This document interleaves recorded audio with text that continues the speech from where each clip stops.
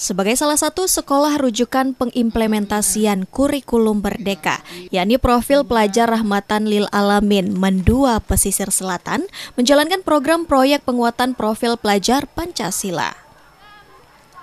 Kegiatan ini merupakan salah satu bentuk penguatan tradisi dan kesenian serta adat budaya dengan kearifan lokal yang mulai pudar di tengah-tengah masyarakat. Program tersebut dirangkum dalam kegiatan panen karya Mandua Pesisir Selatan yang diikuti oleh siswa kelas 10 dan 11 yang telah mengikuti pelatihan selama lebih kurang satu tahun. Kegiatan panen karya tersebut diawali dengan pawai keliling sekolah dengan menggunakan pakaian tradisi Minangkabau dalam sejumlah kegiatan yang saat ini masih sering dilaksanakan di tengah-tengah masyarakat.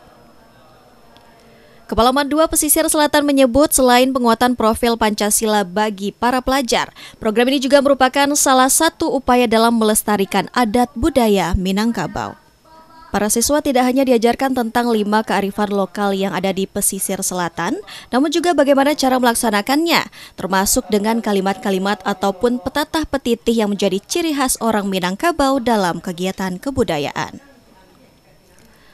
Lima kegiatan kearifan lokal yang dipraktekkan yakni menikahan anak, mencobek kain kafan, melewatkan datwa, bersalin baju, hingga meminum kopi.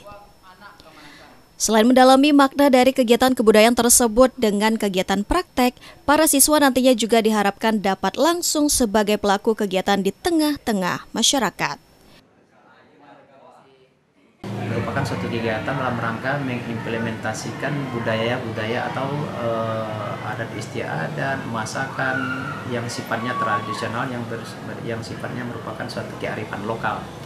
Hari ini di Mandua Pesisir Selatan kita laksanakan kegiatan itu dalam rangka melestarikan kebiasaan-kebiasaan atau adat istiadat yang ada di Kabupaten Pesisir Selatan. Salah satu kegiatan tersebut yang hari ini hampir setiap hari terjadi di tengah-tengah masyarakat. Salah satu di antaranya seperti minum kopi, kemudian melewakan datu, salin baju, kemudian menikahkan keponakan. Nah semua itu kami berikan kepada siswa dalam rangka bagaimana nanti ketika siswa kita ini sudah berada di tengah-tengah masyarakat dan ketika kegiatan-kegiatan tersebut sedang terselenggara di tengah-tengah masyarakat, nanda-nanda kita ini tidak canggung lagi dan sudah tahu kegiatan-kegiatan tersebut seperti apa dan dia bisa langsung menjadi pelaksana dalam kegiatan tersebut. Kemudian tujuan yang kedua tentunya kita berharap nanti kegiatan yang kita laksanakan ini karena ini merupakan suatu kearifan lokal, kebiasaan atau adat istiadat yang berlaku di Kabupaten Selatan. Mudah-mudahan nanti nanda-nanda kita ini menjadi eh, orang-orang yang bisa melestarikan adat istiadat tersebut. Dari Kabupaten Pesisir Selatan, Robi Oktora, Padang TV.